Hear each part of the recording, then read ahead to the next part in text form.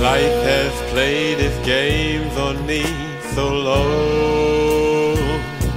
I started to believe I could never trust anyone. Sin had tried to convince me to give in. Then God stepped in.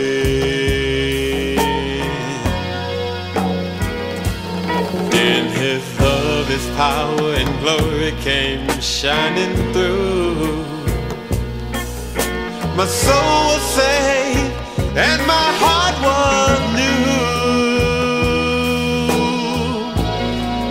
And now my life's worth living to me. Since